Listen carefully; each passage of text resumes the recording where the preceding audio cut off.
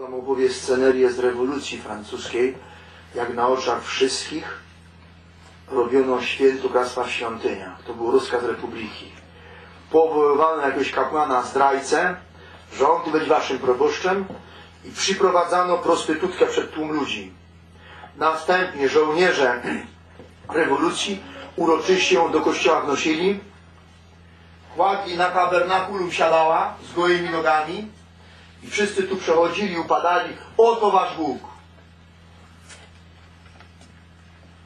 Takie były, moi drodzy, za czasów rewolucji okropne świętokradztwa. Oni to doko dokonują na naszych oczach. Sześć lat temu kardynał Dziwisz wprowadzał szaparzy. Znacie moje, moje stanowisko o nich. Jak ludziom tłumaczył, że robi to z miłości dla chorych, żeby mogli w niedzielę mieć komunię świętą. Nie było oporu za sześć lat. Zwiastuję wam radość wielką, bo to następni bałwochwalcy teraz mogą uroczyście od Wielkiego Czwartku dotykać świętych hostii i udzielać Pana Jezusa ludziom. Jakim prawem, księże kardynale, jaką teologię ksiądz skończył? Wszystkie dokumenty doktorów Kościoła Świętych mówią, że święte hostie może dotykać tylko kapłan, ręce święcone, a nie złapanki, złapani burzyciele. Jakim prawem oni tego dotykają? Ano bo antychryst jest pośród nas. I wydaje, i na waszych oczach dokonują się te okropne świętokradztwa. Tylko kapłanom, mówi Pan, pozwoliłem się codziennie dotykać, aby spożywali moje ciało, pożywali moją krew. Pozwalam, aby brali mnie w dłonie i ukazywali całemu światu. Ja, Bóg, trzecie zdanie Pana, niepokonany, niezwyciężony, potężny i straszliwy, który swoją świętością i czystością oślepiam najczystszą duszę, pozwalam im, im, czyli kapłanom, brać mnie w dłonie. Pozwalam im dzielić moje ciało na części. Pozwalam im robić ze mną wszystko dla was. Potrójne w tym zdaniu. Potwierdzenie tego, co jest tylko przywilejem kapłana. Dlaczego pada Eucharystia? No bo już wszyscy dotykają. Każdy przylatuje. Skubany nie odkrył pociągu do Eucharystii, był młody, poszedł zabawami. Później do nas ma uwagi, na starość mu prze, przekwitnął i wtedy goni tu przy ołtarzu. Przeżyj czterdziestkę, przeżyj trzydziestkę, kiedy cię ciało wodzi po krańcach świata. Teraz się tu garniecie? Seminaria od młodości. Podjąć wyzwanie trwania w kapłaństwie, a nie burzyć Eucharystię. Powtarzam to zdanie. Czytałem, ale teraz złapałem potrójny wymiar, kiedy Pan mówi pozwalam im brać mnie w dłonie. Pozwalam im, czyli kapłanom, dzielić moje ciało na części. Pozwalam im robić ze mną wszystko dla Was. Wybrałem, to jest czwarte zdanie Pana, wybrałem te ręce, one mnie dotykają. Ich dotyku pragnę, a nie chłopców z łapanki, albo tak jak zachęca biskup Sforz. Dla chłopców wydaje książeczkę o ministrantach i pisze wszystkich chętnych przyjmujemy do ministrantury. Kto się będzie dobrze sprawował, będzie przyjęty do, jako lektor. A jeśli się lektor będzie dobrze sprawował, będzie szafarzem. No fajnie, nie?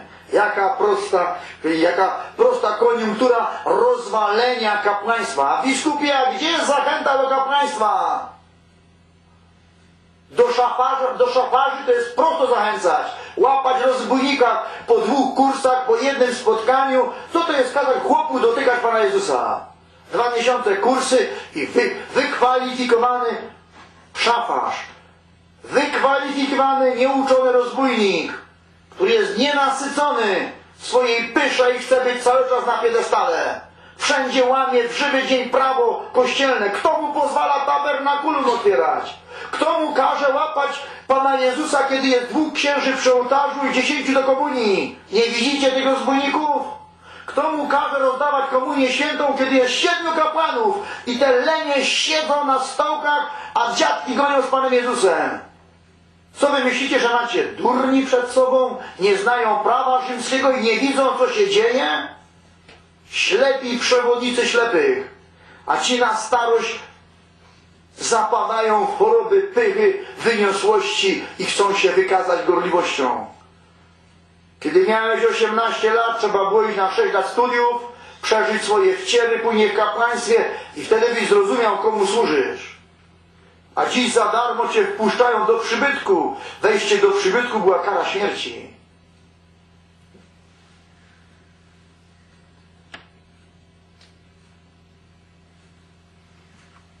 Wybrałem te ręce, one mnie dotykają, ich dotyku pragnę, ponieważ są to moi święci synowie, którym ufam, którym się ofiarowałem, mówi Pan, których wybrałem spośród wszystkich synów ludzkich na moich jedynych oblubieńców.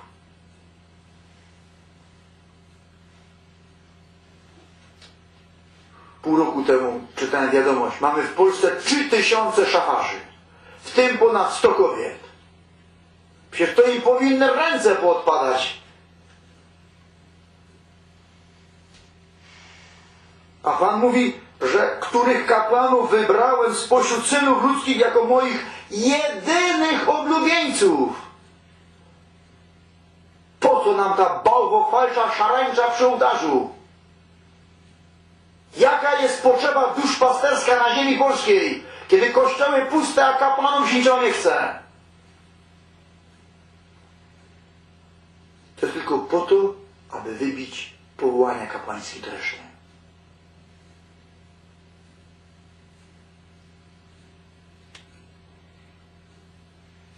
Ja oddałem im swoją duszę i ciało, aby mnie posiadali. Oni oddali mi swoje dusze i ciała, abym mógł w nich istnieć na ziemi.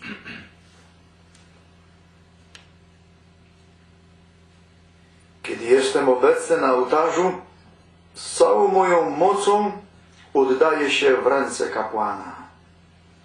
Pozwalam, aby on rozporządzał mną jako ofiarą, aby on złożył mnie Ojcu w ofierze.